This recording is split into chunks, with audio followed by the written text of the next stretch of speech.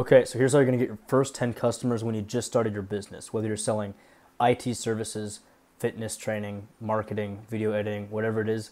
This is how we're gonna get our first 10 customers, warm outreach edition. So you're probably wondering like, who do I reach out to? Is there anybody that I could reach out to? And what do I say? So the first thing you wanna do is actually get all the contacts from your phone.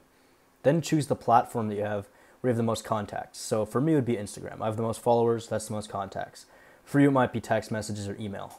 When you add up all those contacts, you're gonna have a lot more leads than you thought. And a lead is just someone you can contact who's a potential customer. Oh, holy shit. You're asking me to sell to my friends or my parents or my grandma. Hold on, just slow down. I'll explain a little bit further. So step two is to choose the platform that you have the most contacts on that you somewhat know. So for me, it would be Instagram. For you, it might be text messages or email. So just choose one of those first. So step three, what should I say? So you want to make your message as personal as possible when you're outreaching to people. So use something you already know about the person. And if you don't, go through their page and find something interesting. So an example could be like, hey, that's a cool hiking spot. Where is it? Or, uh, I don't know, like, nice car. I hope I can have one like that someday. Or, um, hey, congrats on the bench PR. It's called having a normal conversation. Just open it up like that you don't want to start it off super salesy. Now, once they reply, use this framework. So you want to compliment them and then ask them a question. So let's say I'm selling a weight loss program. what you could say is like, hey, I saw that you had kids. Congratulations. You're a super mom. How do you manage to go to work, take care of the kids, get married, and stay in shape at the same time?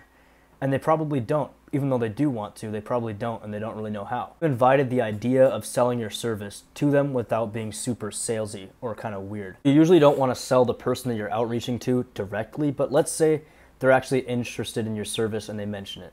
So what I would recommend you doing is offer them the service for free and in return all they give you is a review, some feedback, and maybe a reference. So first of all, you don't have much experience. You reduce the risk as much as possible so they actually want it done and then you get your name out there. Those are three very valuable things. Even though you're not making money, you're still getting a lot of value from this one person because this is probably the first person that you're getting your service done for. You can also do is ask the person that you're reaching out to if they know anybody that needs X, Y, and Z, whatever your service is. So all you're doing is asking this person that you're reaching out to for a favor and not to buy from you. But in return, they could give you contacts that do want to buy from you. And if you want to up the chances of them buying from you, what you can do is actually offer the service to the person that you're reaching out to for free.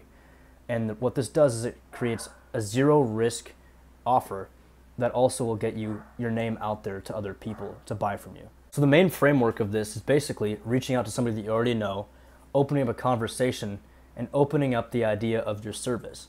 Then you just ask to see if they know anybody else that needs it, and then you can offer your service to them for free to give credibility to the other people that they might mention.